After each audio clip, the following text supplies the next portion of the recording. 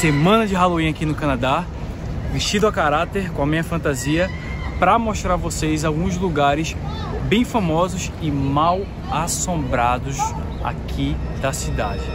Eu escolhi os principais e mais famosos. Eu tô ansioso porque são lugares que eu não fui ainda, não conheço. E lugares que as pessoas escutam vozes, móveis se mexendo, pessoas chorando, crianças chorando. Toronto ficou assombrada, Halloween chegou e vamos embora tomar susto.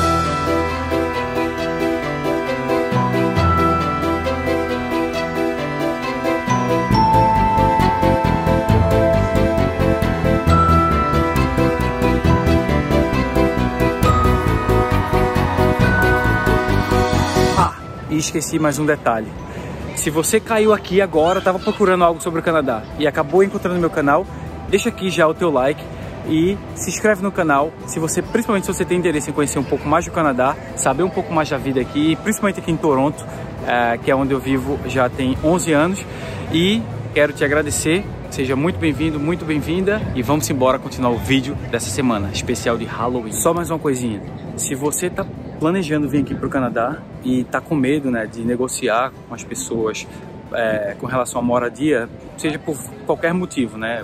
Por insegurança na língua, ou porque não quer cair num golpe, que tem acontecido muito, ou porque não sabe qual o melhor bairro, o melhor lugar para morar aqui em Toronto, ou em Vancouver, ou em qualquer lugar aqui do Canadá, fica a dica. For Your Housing. Eu faço parte desse projeto, já estou aqui no Canadá há 11 anos e eu te garanto que a gente pode ajudar você com esse processo de negociação, de buscar no aeroporto, ter uma casa já com a primeira compra no supermercado, uma casa mobiliada, não mobiliada, no bairro que você quer, que cabe para o seu bolso e te garanto, é 100% confiável, com a galera que já mora aqui no Canadá há bastante tempo, um grupo de amigos, incluindo eu mais uma vez, For Your Housing.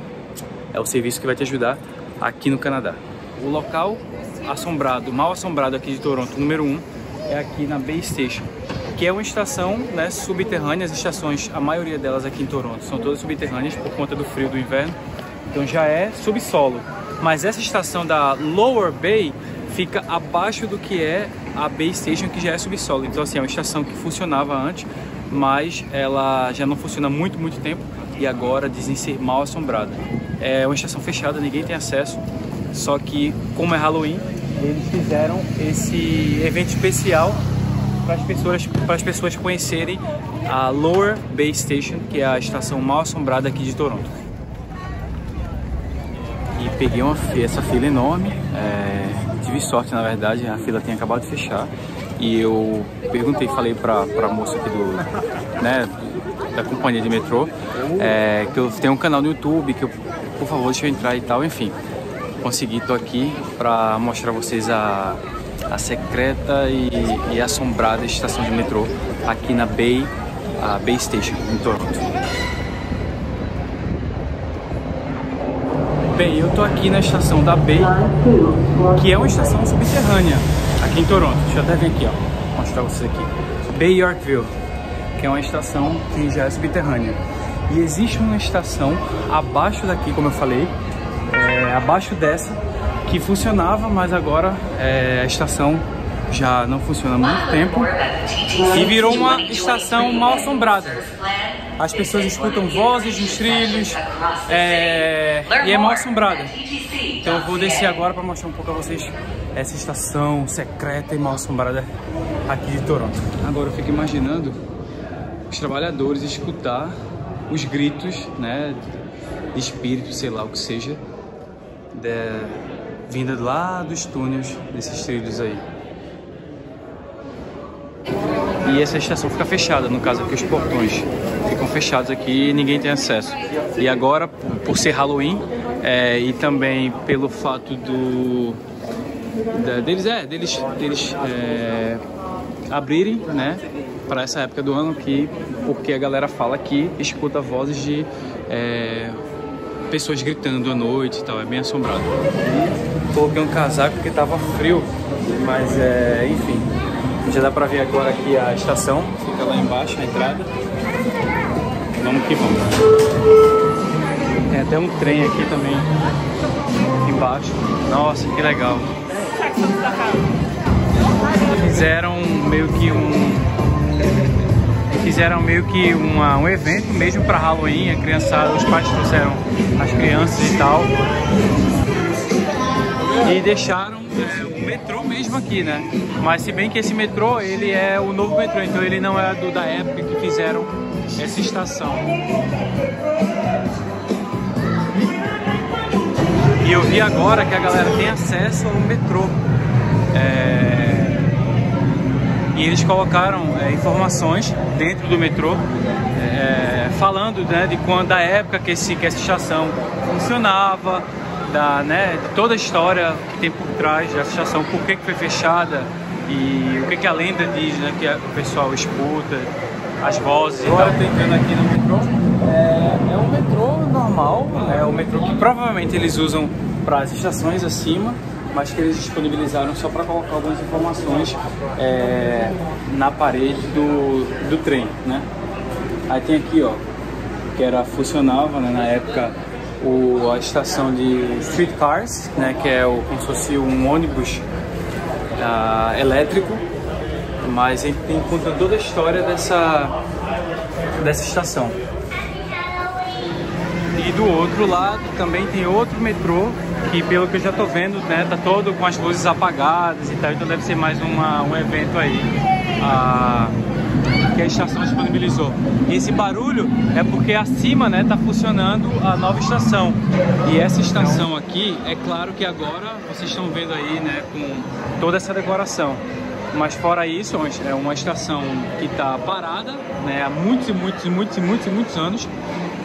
Ah, e os funcionários dizem que escutam vozes, escutam pessoas gritando, é, como se fosse um barulho de trem quando já não se há o serviço, né? o serviço está parado naquele momento. É o que a galera fala. E é por isso que essa estação ficou tão famosa aqui em Toronto, né? da estação da Lower Bay, devido a essa história. Eles também fazem, usam essa estação para gravações de filmes, seriados, como esse filme aqui, por exemplo, foi gravado aqui embaixo, na estação da Lower Bay, em Toronto.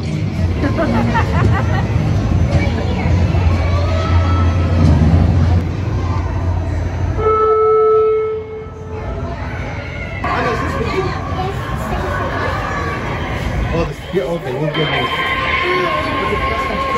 get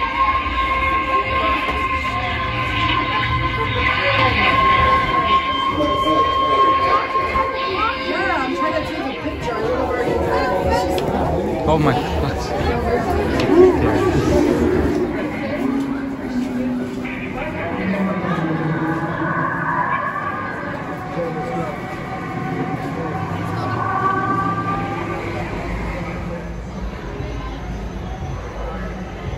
Ah, adorei conhecer essa estação que fica abaixo da estação que já é subterrânea. Bem, eu e o Squash chegamos aqui no segundo local mal assombrado de Toronto, que é uma casa onde as pessoas é, escutam vozes, ruídos, móveis se mexendo e é uma casa bem famosa aqui em Toronto que hoje virou museu. E aqui está um pouco da história da, do Mackenzie House, que foi a casa do William Leon Mackenzie, o primeiro uh, prefeito aqui de Toronto. E daí hoje o que, que acontece? Essa casa, as pessoas reclamam de escutar choros vindo de dentro, móveis se mexendo. Virou um museu com os móveis originais da época, enfim. Mas as pessoas escutam as mesas de madeira antiga se mexer, vozes de crianças e mulheres falando, e é um, é um ponto bem famoso aqui de Toronto. É uma pena que está fechado, porque eu queria poder mostrar né, a vocês os móveis. Eu também nunca vim aqui, então é, queria poder mostrar. Vou até ouvir. Será que dá para ouvir alguma coisa? Imagina se eu escuto alguma voz, alguma coisa. É você, Satanás. eu escutei um tum, tum. Eu lembrei, lembrei que isso aqui tava batendo na porta. Peraí.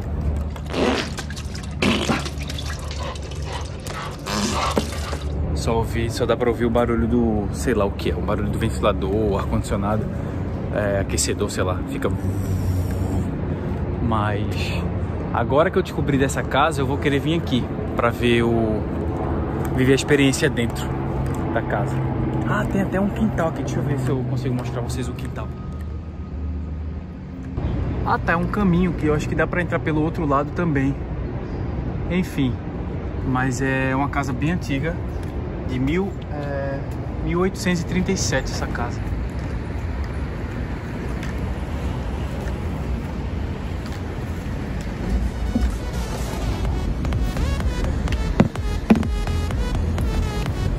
E passou um policial aqui perto agora e eu perguntei o horário de funcionamento. Ele falou que não, que está fechado. É, até antes da pandemia já estava fechado, porque disseram que houve um, uma, um alagamento no basement, que é o porão daqui, né, chamado porão. Houve um, um alagamento no basement e aconteceu de noite. Pasme.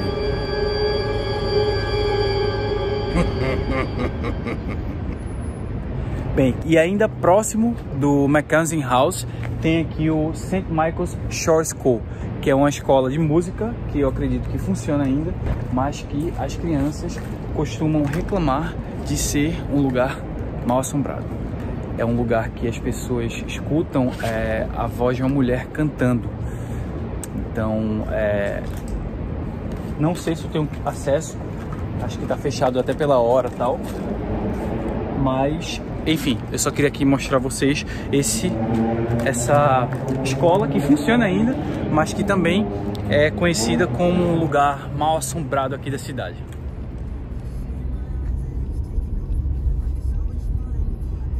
E agora a gente está chegando nesse ponto que é muito famoso aqui em Toronto, que é o chamado... Uh, é uma velha ponte chamada Old Finch Bridge.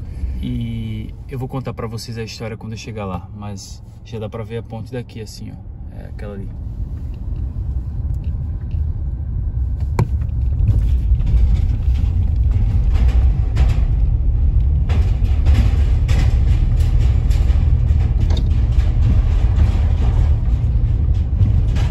Olha o barulho que dá. Dá medo só, só de escutar o barulho. Agora, a ponte, quando os carros passam, faz um barulho por ser velha de metal, né, faz esse barulho que já é assustador, já dá medo só de estar aqui. É um lugar distante, é, fica no, na divisa entre, entre, Toronto e Scarborough, a cidade de Scarborough, mas é, dá para ver né, a natureza aqui, então é um lugar que para ter acesso não é tão fácil. Esse barulho da, da ponte é assustador mesmo. Mas enfim, eu tô, vou descer aqui lá embaixo para poder mostrar a ponte lá de baixo. O que que aconteceu? A história aqui é que a história conta, né, diz a lenda, que uma garota veio aqui com os amigos para celebrar o aniversário dela. Ah, não tenho detalhes de quando, mas enfim, ninguém sabe, né, até que ponto essa história é verdade e até onde é verdade, mas enfim. Ela veio celebrar o aniversário, o aniversário dela aqui com os amigos. Ela se... Olha esse barulho ela se afastou dos amigos para fazer é, xixi e nunca voltou ao grupo. E daí ela foi é, encontrada algumas semanas depois morta. E acontece que as pessoas até hoje ouvem à noite, principalmente no aniversário dela, elas gritando, chorando e pedindo ajuda, pedindo uh, help. Então é, é bem assustador se você parar para pensar.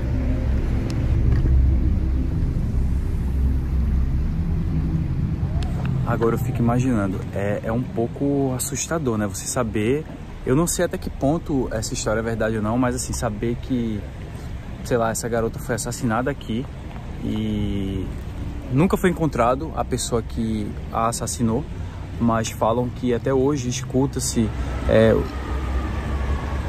Que susto, cara. A ambulância passou aqui, mas eu pensei que fosse o grito da garota. E esse barulho dos carros passando realmente está anoitecendo, então assim, deixa tudo mais assustador. Eu vou ficando por aqui, melhor ir embora antes que anoiteça eu comece a escutar gritos, não é não, Squash? Então tô aqui com o Squash para agradecer pra, por você ter ficado até aqui comigo. Já te agradeço também. Se você não deixou um like, deixa aí um like. Segue aqui o canal e até a próxima. Melhor. Tchau, fui!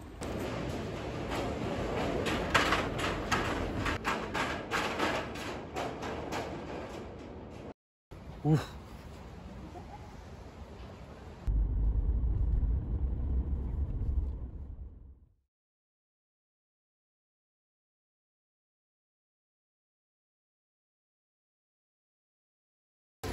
Bem, e para você que ficou aqui até o final do vídeo, muito obrigado. Ah, eu decidi passar numa, numa loja aqui, perto do, de um dos locais que a gente visitou, que vendem é, produtos, fantasias para o Halloween. Então aqui eu vim só mostrar vocês um pouquinho, ó, 6 dólares esse chifre, tem maquiagem, tem... Como eu falei, né, tem muita coisa faltando, né, que a galera já, já levou, comprou tal. Máscaras é, de todo tipo, inclusive eu tenho uma, a do do Jason, a original do filme eu tenho em casa também. Eu adorei essa aqui. Olha, tá vendo? Muita coisa já... A galera leva tudo. Aqui a galera leva a sério o Halloween. Leva a sério mesmo. E aqui desse outro lado tem as fantasias também, ó. Pra colocar ó, o chapéus e... Até pra cachorro tem também, ó. O cachorrinho. É... Enfim, são das fantasias aqui do outro lado também, lá do outro lado. Essa do Spider-Man aqui é o que? É pra criança, eu acho. É. Enfim, mas é isso. A galera aqui no Canadá leva a sério o Halloween. E tem do outro lado, perucas também aqui, já dá pra ver, né? Todo tipo de peruca é, e por aí vai. Enfim, Happy Halloween! Os locais mais mal assombrosos, assombrados.